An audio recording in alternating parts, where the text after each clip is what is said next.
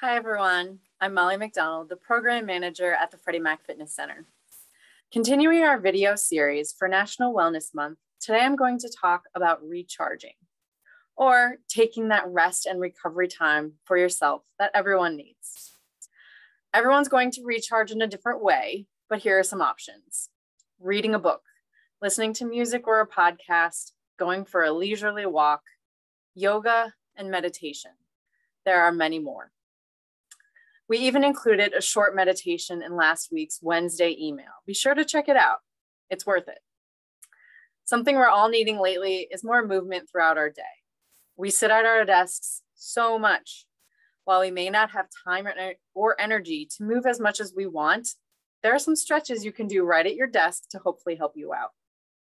Save this video for times when you need a quick three minute stretch at your desk. If you're on a chair with wheels, just be careful on a few of these. Let's do a few stretches at your desk to hopefully help with that recharging. We're gonna start out, reach your right hand down to the floor and we're gonna take head in the opposite direction. So reach that right hand to the floor. Trying now to get this ear down to this shoulder. You can close your eyes if you'd like. You can do these while you're working, while you're thinking of what to type, anything like that. Let's bring the head back up. We're gonna go to the other side. So left hand down to the floor. Keep breathing. Our shoulders are tall. Good. And let's relax that arm. And now you're just gonna take the head, roll shoulder to shoulder.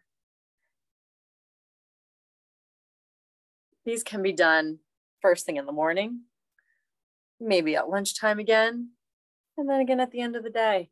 Now, nice and easy, very slowly. Let's take a few full circles. All right, very slow. Be kind to your neck. And we're going to switch directions.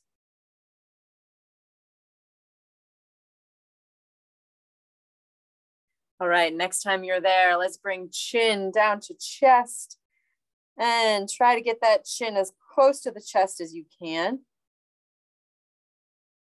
Bring the head back up. Let's roll those shoulders back and forward. Okay, shake it out. Now I'm going to turn over to my right here. I'm going to put my right hand on my chair behind me. This is where if you're on a chair with wheels, please be careful. Right hand's on my chair behind me and I'm going to put my left hand on my right thigh and I'm just going to twist and try to look behind me. All right, so getting that full body twist, spinal twist all the way up.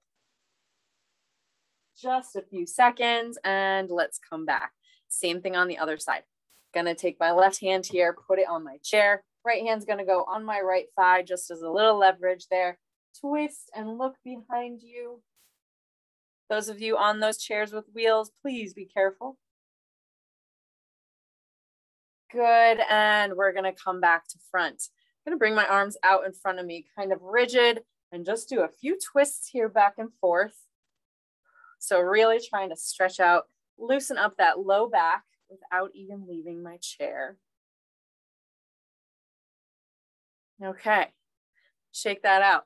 We're gonna get a little bit more upper body here. I'm just going to bend my elbow a little bit, come to my wrists, Wrists, check out those wrists a couple times a day. All right, squeeze the fingers. Same thing on the other side. So bend the elbows, wrists, maybe get some cracking there, who knows. All right, fingers. We're using those fingers to type so much nowadays. All right, shake it out. Shake those shoulders, and we are done. So thank you for joining. I hope this helped loosen you up at least a little bit, helped you recharge. All right, hold on to these stretches, come back to them, do them a couple times a week at least. Thanks for joining me, and we will see you next time.